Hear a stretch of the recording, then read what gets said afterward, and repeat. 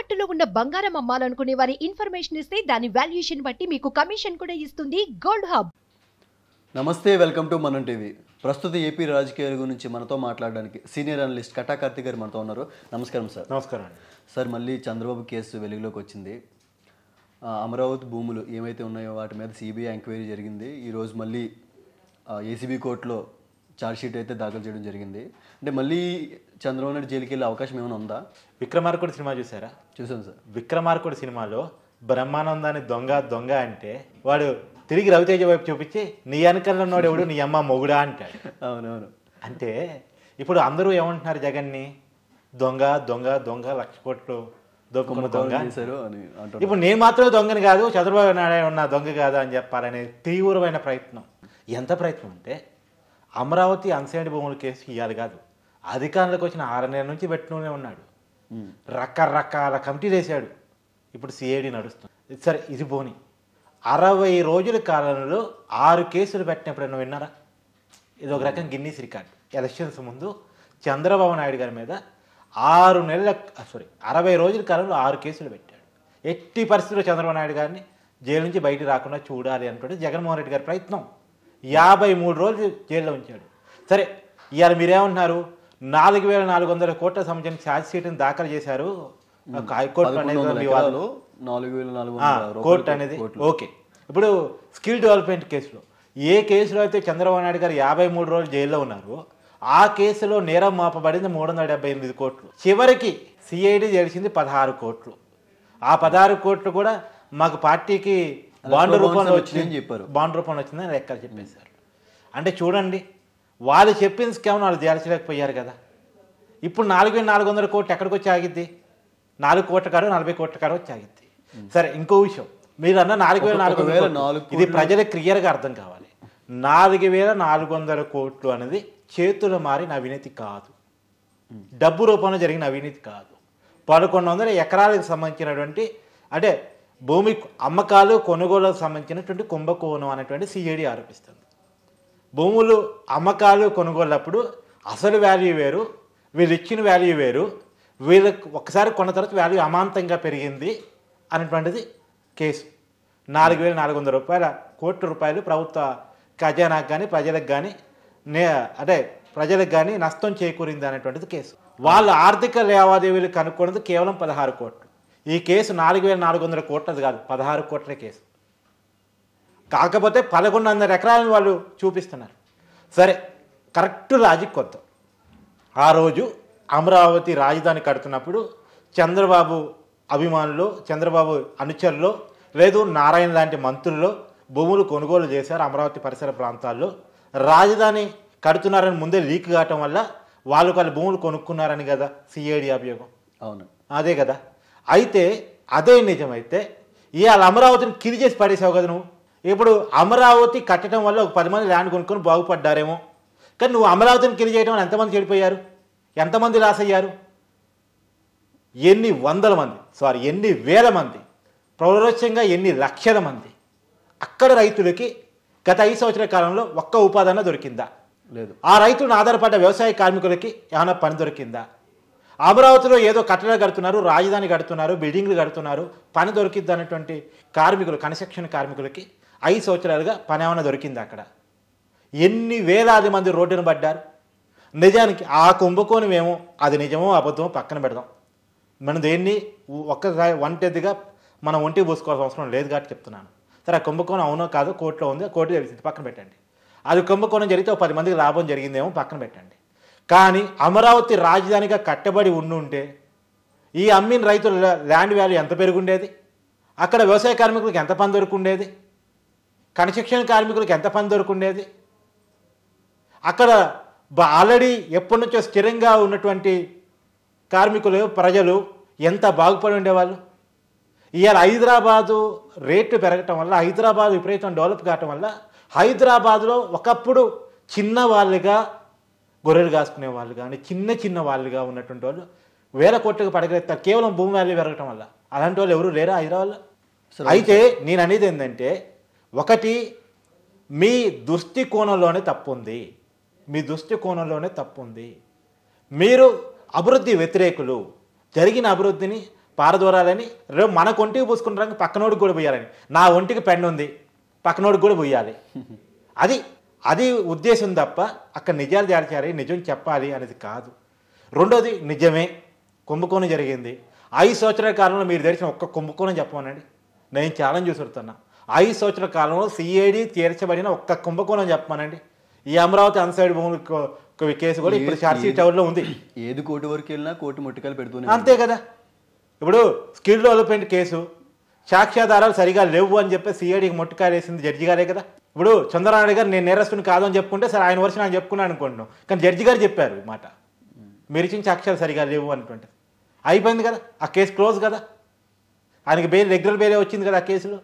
ఆ కేసు కూడా నిలిచేది కాదని తేలిపోయింది కదా. అసలు జగన్ ప్లాన్ ఏంటి అనేది నేను చాలా కాలంగా చెప్పాను. జగన్ ప్లాన్ ఏంటి అంటే చంద్రబాబు గారు ఎన్నికల వరకు లోపలే ఉంటే ఎన్నికల వ్యవస్థను మిగతా వాళ్ళు మేనేజ్ చేసుకోలేరు. నేను ఇష్టం వచ్చినట్టు వన్ సైడ్గా వెళ్ళిపోవచ్చు ఎలక్షన్ అని చెప్పి ఈజీగా గెలవచ్చు అన్న ఈజీ plan. గెలవచ్చు అని అనుకున్నారు. కానీ అది వర్కౌట్ కాలేదు. అందుకని ఇప్పుడు చంద్రబాబు గారు దొంగ దొంగ. ఇంకొకటి ఉంది. ఇప్పుడు టీడీపీ బీజేపీ జనసేన పొత్తు పెట్టుకుంది. ఈయన అదే లిక్కర్ సార్, స్కీమ్ బయట రావచ్చు. నేను అడగబోయేది అదే. ఇది లిక్కర్ స్కామ్ బయట రావచ్చు. ఉమ్. లిక్కర్ స్కామ్ చాలా పెద్దది. ఇప్పుడు ఏపీకి స్పెషల్ స్టాటస్ రాలేదు కానీ స్పెషల్ స్టాటస్ మందుబాటు మాత్రం వచ్చింది? రా ప్రెసిడెన్షియల్ గోల్డ్ మెడల్ మందుబాటులో వచ్చింది. ఉమ్. తర్వాత బూమ్ బూమ్ వచ్చేసింది. ఏ ఏవో వచ్చేసినాయి ఇప్పుడు సర్కారీ మద్యం దుకాణంలో పోయి నీకు తెలిసిన బ్రాండ్ అయితే దొరకవు. వాళ్ళకి కావాల్సిన బ్రాండ్ అయితే ఉంటాయి అక్కడ. ఎలాగో ఛార్జ్ షీట్ దాఖలు చేశారు కాబట్టి చంద్రబాబు నాయుడు గారు మళ్ళీ జైలుకి వెళ్ళే అవకాశం ఉందా? అంటే ఎలక్షన్ ముందు. అంటే బెయిల్ క్యాన్సిల్ అయ్యి జైలుకి వెళ్ళే అవకాశం ఉందా? చంద్రబాబు నాయుడు గారు జైలుకి వెళ్తారో లేదు అనేటువంటిది ఒక ఫ్యూచర్ అంటే జ్యోతిష్యపరమైనటువంటి ప్రశ్న కానీ ఎందుకంటే ఇప్పుడు ఆయనకి ఆల్రెడీ బెయిల్లో ఉన్నారు. అంటే మళ్ళీ ఇప్పుడు కదా వచ్చిందండి ఈ రోజు వచ్చింది కదా? ఈ షార్ట్ షీట్ మాత్రం ఈ షార్ట్ షీట్ మాత్రమే. దీని మేరకు చంద్రబాబు గారి పాత్ర ఉంది లేదా చేర్చబడాడు చేర్చబడిన తర్వాత కదా అది ఇప్పుడు తేలేదు కాదు అది. కానీ జగన్ మీద కొత్త కేసు వస్తుంది. జగన్ జైలుకు పోవచ్చు. ఆశ్చర్యకర విషయం చెప్తున్నానండి. ఇప్పుడు జగన్ జైలుకు పోవచ్చు. జగన్ జైలుకి ఎట్ట పోవచ్చు చెప్తున్నానండి. లిక్కర్ స్కామ్ ఉంది. లిక్కర్ ఎట్ట స్కామో చెప్తున్నానండి. సహజంగా వంద డిపోలు ఉంటాయి. లిక్కర్ తయారు చేసే కంపెనీలు వంద ఉన్నాయి వంద డిపోలు ఉంటాయి. వంద డిపోల నుంచి రావాల్సింది కేవలం పదహారు డిపోల నుంచి తీసుకుంటున్నారు మందుని. లిక్ ఢిల్లీ లిక్కర్ స్కామ్ విన్నారా మీరు? అలాంటి కంట అంతకంటే మించిన ఏపీ లిక్కర్ స్కామ్ ఒకటి నడవబోతుంది.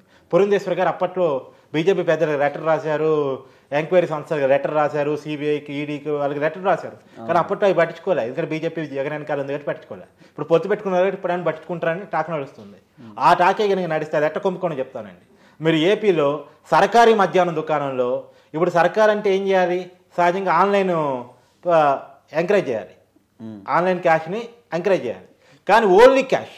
అవునవును. ఓన్లీ క్యాష్ అది కూడా. అది కూడా మనకు కావాల్సిన బ్రాండ్ వరకు వాళ్ళు ఇచ్చిన బ్రాండ్ మనం తీసుకోవాలి. తాగడానికి పోయినోడు పాపం ఏదో ఒకటి రాజీ పడతాడు కదా. వాడు నాలుగు బీకిద్ది ఏదో ఒకటి రాజీ పడతాడు. భూమి భూమి ఉందే భూమి భూమి పట్టుకుని వస్తాడు గోల్డ్ మెడల్ ఉంటే గోల్డ్ మెడలే పట్టుకుని వస్తాడు స్పెషల్ స్టాటస్ ఉంటే స్పెషల్ స్టాటసే పట్టుకొస్తాడు. సో ఆ పట్టుకొచ్చి తాగి వాడు ఆరోగ్యాన్ని పాడు చేసుకుంటాడు. అది వేరే విషయం. ఇప్పుడు క్యాషే ఇవ్వటం వల్ల సంవత్సరానికి ఇరవై ఐదు వేల కోట్లు ఇప్పుడు ఎన్ని సంవత్సరాలు అయింది జగన్ అధికారంలోకి వచ్చి? ఐదు సంవత్సరాలు. సరే ఐదు వదిలేయండి. మొదటి సంవత్సరం వదిలేయండి. మొదటి సంవత్సరం ఇంత ఆయన ప్లాన్ చేసుకుని ఈ బ్రాండ్ ల్యాండ్ తీసుకొచ్చేసరికి ఒక సంవత్సరం పట్టింది అనుకోండి. నాలుగు సంవత్సరాలు. తీసేద్దాం అండి. కరోనా కూడా తీసేద్దాం. మూడు సంవత్సరాలు. ఏ కరోనాలో బాగా అమ్ముడుపోయినాయి కరోనా కూడా కరోనా అప్పుడు టీచర్లను కూడా సర్కారీ మద్యం దుకాణంలో కూర్చోబెట్టి మరి అమ్మించాడు కదా? అవునవును. జగన్మోహన్ రెడ్డి గారు లక్ష కోట్ల రూపాయలు కుంభకోణం జరిగిందండి. అనే మద్యం దుకాణాలు కొన్నాళ్ళు తెరవలేదు కదా మీరు అంటారేమో. ఆ కొన్నాళ్ళు లాక్డౌన్ మినహాయించి మిగతా అంతా అమ్ముడిపోయింది. లక్ష కోట్ల రూపాయలు పోగు చేసుకున్నారు సరే మీరు అన్నట్టు ఏమైనా మినహాయింపులు ఇచ్చండి కొన్ని కొన్ని రోజులు పోలేదు. ఎనభై వేల కోట్లు అయితే పక్కాగా. ఎనభై వేల కోట్ల రూపాయల కుంభకోణం స- మద్యం రూపంలో జరిగింది ఏపీలో. ఇది బయటకు రాబోతుంది రేపు. ఈ బయటకు రాబోతుందని ఇప్పుడు చంద్రబాబు మీద స్టార్ట్ చేస్తారు. నా తెలిసి ఈ సాధ్యతే కాదు. వేరే కేసులో కూడా ఛార్జ్ షీట్లు మొదలు పెడతాడు ఇక. ఉమ్. మొదలు పెట్టి ఒగో చంద్రబాబు నాయుడు ఇంత తిన్నాడు చంద్రబాబు నాయుడు అంత తిన్నాడు అని మొదలు పెడతాడు ఇంకొకటి. అంటే చంద్రబాబు నాయుడు గారు అమరావతిలో భూములు ఎక్వైర్ చేశారని కేసు రన్ అవుతుంది. జగన్ గారు కూడా విజయసాయి రెడ్డి చేత వైజాగ్లో భూములు కొనిపించారని అంటే ఇప్పుడు ఎవరికి ఏం లేదు కానీ ఇఫ్ ఇన్ కేస్ బీజేపీ వీళ్ళతో ఉంది కాబట్టి కేసులు పెట్టే అవకాశం ఉందా? తేలాలి ఎవరు ఏ భూములు లాక్కున్నా ప్రజలకు సంబంధించిన భూములు కానీ అవి ఖచ్చితంగా తేలాలి అసలు ఇంకోటి ఏంటంటే మీకు చాలా అనుమానం. మీకు తెలుసా విజయసాయి రెడ్డి గారు వైజాగ్లో భూములు కొంటున్నారని? భూములు కొనటం కదా లాక్కుంటున్నారని తెలుసు నేను విన్నాను. కొంటున్నారని తెలిసిందా? ఇప్పుడు ఈ విషయం ఏంటంటే వైజాగ్ మీద అదే చెప్పబోతున్నాను. వైజాగ్ మీద జగన్మోహన్ రెడ్డి గారికి ఎనలేని ప్రేమ. విజయమ్మ గారిని ఎంపీగా నిలబెట్టారు. సరే అప్పుడు ఓడిపోయారు. తర్వాత రెండు వేల పంతొమ్మిదిలో డేర్ చేయలేకపోయారు వాళ్ళ కుటుంబం నుంచి నిలబెట్టడానికి. సరే వేరే వాళ్ళు నిలబెట్టారు. నిలబెట్టిన తర్వాత అయినప్పటికీ కూడా విజయసాయిరెడ్డి గారినే ఈ వైజాగ్ ఇన్ఛార్జిగా పెట్టారు. ఈ విజయసాయిరెడ్డి గారికి ఎక్కడ చెప్పట్లేదేమో ఏమో మరి ఏం తెలియదు కానీ మన తర్వాత వైఎస్ సుబ్బారెడ్డి మార్చుకున్నారు. అక్కడ ఎమ్మెల్యే ఏదో ఆ విజయసాయిరెడ్డికి అక్కడ లోకల్ ఎమ్మెల్యేకి పడట్లేదని కారణంతో మార్చుకున్నారు. మధ్యలో అక్కడ ఎంపీ ఏదో తోక ముడించాడు. ఆ ఎంపీ కుటుంబ సభ్యులనే కిడ్నాప్ చేయించారు. అవునవును. ఇదంతా మన కళ్ళకు కనపడినటువంటి సినిమా దృశ్యం సినిమా చూసారా మీరు? దృశ్యం సినిమాని మించిన రేంజ్లో డ్రామా వైజాగ్ కిడ్నాప్ డ్రామా. ఇప్పుడు ప్రేమంతా వైజాగ్ ప్రజల మీద కాదు. ఇప్పుడు మన మిషన్ వైజాగ్ మిషన్ వైజాగ్ అని పెట్టారు కదా సభ. విజన్ వైజాగ్. ఏంటంటే వైజాగ్ని ఎట్ట కబ్జా చేసేయాలి? ఎట్ట కొండను దువ్వేసేయాలి. కొండను దువ్వి ఏదో భవనం కడుతున్నాడు కదా. ఇంద్ర కీరాది లేక ఒక పెద్ద భవనం కట్టుకుంటున్నాడు. తాడేపల్లి ప్యాలెస్ని మించిన భవనం కట్టుకుంటున్నాడు అక్కడ. కట్టేశారు ఆల్రెడీ అది పర్యావరణ అనుమతులు లేకుండా కొండ నవ్వి గుట్టలు తవ్వి చెట్టు నరికి కట్టడం ఏంటంటే అంటే ఇంతకు ముందు ఉండేవి చాలా బాగుంటాయి అండి రిసార్ట్స్ మాది వైజాగే కాబట్టి చెప్తున్నా. చాలా బాగుండే ఓ మీది వైజాగ్. ఓకే. దాన్ని పగలగొట్టి ఏదో ఇది రిసార్ట్ అంటున్నారు. నాకు అదే అర్థం కావట్లేదు. రిసార్ట్ అయితే ఇలా ఎందుకు ఉంటాయో. వైజాగ్ శాంతి కాముకుల ప్లేస్ ఒక రకంగా చెప్పాలంటే. కానీ అక్కడ అరాచకం రాజ్యం ఏదేలా చేశాడు జగన్మోహన్ రెడ్డి గారు? అక్కడ ప్రజలు వాస్తవంగా ఏంటంటే వైజాగ్ రాజధానిగా పెడుతున్నా అంటే వైజాగ్ ప్రజలు అంటే గుండు గుప్తా వయసుకుపోతే అలా వాస్తవానికి. కానీ అక్కడ ప్రజలు వైసీపీని అసహించుకుంటున్నారు రివర్స్లో. అవును. సహజంగా ఏంటంటే మీ ప్రాంతానికి రాజధాని వస్తుందంటే మీకు ఎంత హ్యాపీ ఉండాలి? కానీ రివర్స్లో వైజాగ్ వద్దురా బాబు నువ్వు రావునే రావద్దు అని చెప్పేసి అన్నారంటే ప్రకృతి కూడా ఒప్పుకోవట్లేదు జగన్మోహన్ రెడ్డి వైజాగ్ రావడానికంటే ఇది కానీ కారణం ఏంటి? జగన్మోహన్ రెడ్డి గారి కబ్జాలు విజయసాయి రెడ్డి గారి పెత్తనాలు ఇప్పుడు వైవి సుబ్బారెడ్డి గారి పెత్తనం కొత్తగా. కారణం ఏంటంటే ఒకటి గుర్తుపెట్టుకోండి. నువ్వు రాజుగా నీకు అధికారం ఇచ్చిన తర్వాత నువ్వు చేయాల్సింది ఏంటి రాజ్యాన్ని పరిపాలించటం ప్రజల్ని మంచిగా చూసుకోవటం అభివృద్ధిని చేయటం రాష్ట్రాన్ని ముందుకు నడిపించటం. కానీ అది మానేసి దండుకోవటం దోసుకోవటం అవతరాల మీద కేసులు పెట్టడం ఇదే కదా గత ఐదు సంవత్సరాల కాలం జరిగింది. గత ఐదు సంవత్సరాల కాలంలో మీరు వైజాగ్ అంటున్నారు కాబట్టి వైజాగ్ రాజధాని అని జగన్మోహన్ రెడ్డి గారు పదే పదే అంటున్నాడు కాబట్టి వైజాగ్లో కొత్త కేసిన రోడ్ ఏంటి ఒకసారి చెప్పండి. వైజాగ్లో రాబర్ని ఒక కొత్త కంపెనీ పేరు చెప్పండి. రాబర్ వైజాగ్లో ఒక వెయ్యి మందికి ఉద్యోగం వచ్చేటువంటి ఒక సంస్థ ఏర్పడిందని కొత్తగా చెప్పండి. లేదు ఉన్న అమరావతిని కిది చేశాడు. సరే అమరావతిని కిది చేశాడు. ఓకే. అతను ఒప్పు తప్పు ఒప్పు మూడు రాజధానుల కాన్సెప్ట్ ఎంచుకున్నాడు. ఇప్పుడు ఏపీ అసెంబ్లీ ఎక్కడుంది? అమరావతిలో ఉంది. చంద్రబాబు నాయుడు కట్టిన భవనం. హైకోర్టు ఎక్కడుంది? అమరావతిలో ఉంది. చంద్రబాబు కట్టిన భవనం. సచివాలయం ఎక్కడుంది? అమరావతిలో ఉంది. చంద్రబాబు కట్టిన భవనం.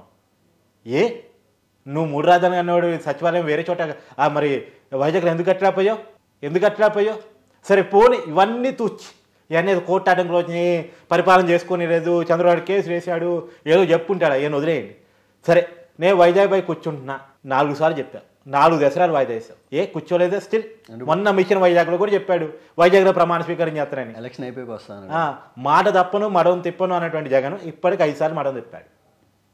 నవరత్నాల విషయంలో కాదు రాజధాని విషయంలో నేను చెప్పేది.